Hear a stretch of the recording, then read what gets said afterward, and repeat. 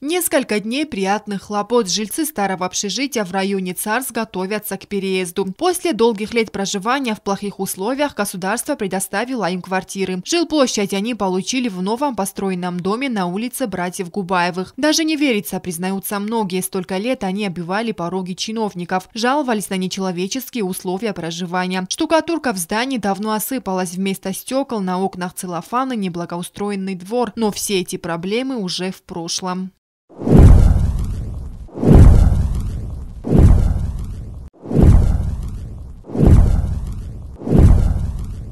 По поручению президента жильцам вручили ключи от новых квартир среди новоселов Вера Бестаева. 12 лет она прожила в этом общежитии. Последний раз она обратилась за помощью к президенту Анатолию Бибилову. И ее мечта сбылась. Она стала обладательницей новой трехкомнатной квартиры со всеми удобствами на первом этаже.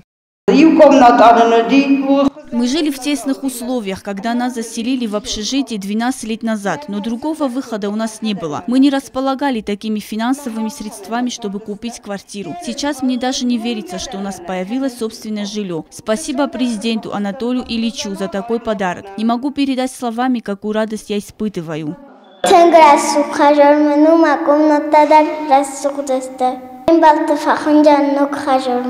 Вместе с детьми в двухкомнатной квартире в общежитии проживала Евелина Бестаева. Из-за отсутствия игровой площадки детям было негде играть. Кроме того, Евелина опасалась за жизнь своих детей. Вечно что-то сыпалось, разламывалось. Сейчас у нее появилась не только собственное жилье, но и комфортная детская площадка. Дети счастливы. общежитие Десять лет жила в общежитии, всегда мечтала о том, чтобы у нас когда-нибудь была собственная квартира. И вот наша мечта сбылась. Я хочу от себя лично, от имени всех жильцов общежития выразить слова благодарности президенту. Дай Бог ему сил и здоровья. Из старого аварийного общежития переселяется и Мери Кулумбекова с детьми. Вещи собраны, ключи на руках, а в глазах слезы радости. Долгие годы мы жаловались в разные инстанции с просьбой улучшить наши условия проживания. И вот в этом году наша проблема окончательно решилась.